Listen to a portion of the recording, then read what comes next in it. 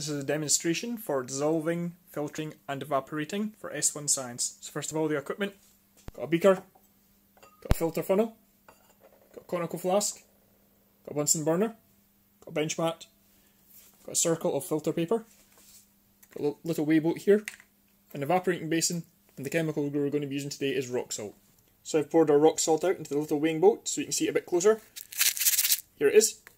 You're probably used to salt being white crystals, but as you can see this is a bit brown and red, and it looks nothing like the stuff you'd want to put on your chips. That's because it's full of impurities. It's just general sand and dirt and other things in it. Other name for this chemical is grit. You may see grit spreader spread it on the road when there's been a lot of snow or ice, because it helps melt the snow. This is pretty much exactly the same stuff. It's very good for that, but you wouldn't want to eat it. So today I'm going to show you the process for taking this stuff and purifying it so it looks exactly like the normal table salt you're used to. So first step is to take our glass beaker and put some water in it. Next step is to take our rock salt and pour it into the beaker full of water. Then we get a stirring rod and start to stir it around to help it dissolve. What will happen here is the pure salt in the rock salt will dissolve in the water, but all the grit, sand and other stuff won't manage to dissolve in the water. As you can see it's gone very brown. That's all the impurities in the rock salt. I'll continue to stir this for a while and get back to you when it's more dissolved. So I've spent some time with the stirring rod dissolving all of that. And as you can see, I've got a horrible muddy brown colour. The salt crystal should have all dissolved in water, but any of the impurities are currently suspended in the water. And that's why you can see it as this horrible muddy brown colour. You may think, well that's great, now I've just got muddy water. What I'm going to do with that? Well, our next step is going to be getting our conical flask, our funnel, and our bit of filter paper, and we're going to filter out all this rubbish and hopefully get some nice water and salt mixture. So I'll set up the funnel by putting it in the conical flask. And I'm going to get my bit of filter paper and we're going to fold it halfway that way. And halfway again. So the quarter circle. And then what you do is you open it up and you find it that way. So it's got three layers on this side and one layer on that side. And then that is a nice triangle shape that will fit nicely in our funnel. So now I'm going to take our beaker here and carefully pour it through the filter paper which is in the filter funnel.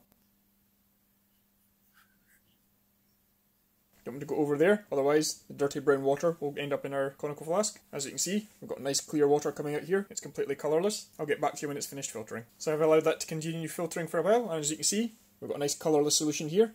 And you can see the funnel is full of brown stuff. That's all the rubbish that was in the beaker before. So here's a close-up of the filter paper. As you can see, all the brown waste is now just stuck to the filter paper. And if I remove it, got a nice clear liquid in here. That's currently just got our water and our salt in it, in solution. At the start, you may remember I said I wanted to turn our rock salt here into stuff you could use as table salt on your food.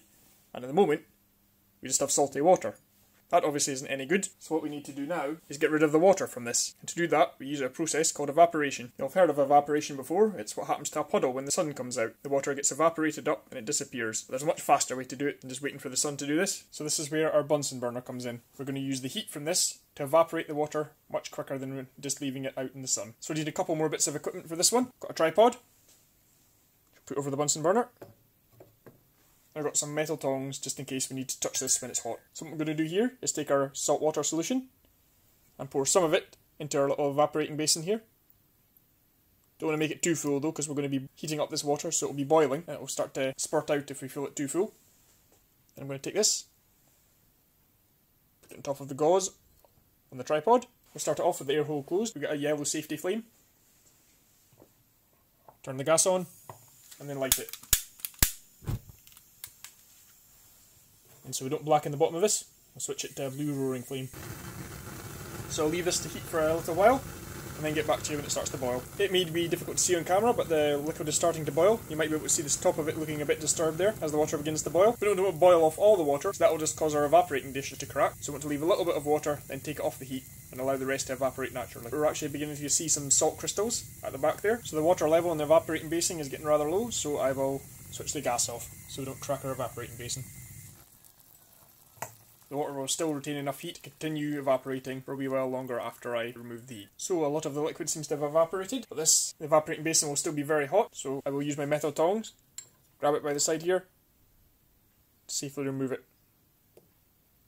The tripod will also be quite hot, so I don't want to touch that yet, so I'll just leave it sitting there until it cools down. So I have allowed the evaporating basin to cool and dry. We're left with a bunch of salt crystals. I'm not sure how well they'll show up in camera. I'll scrape them see if you can see them a bit better. I've got this bit of black paper and I will pour some of the salt crystals onto it so you can see how nice and pure and white they are compared to what we started with. So if you have a look, they look nice and pure and white just like you would get in a table salt shaker. Compare that to the original salt we had.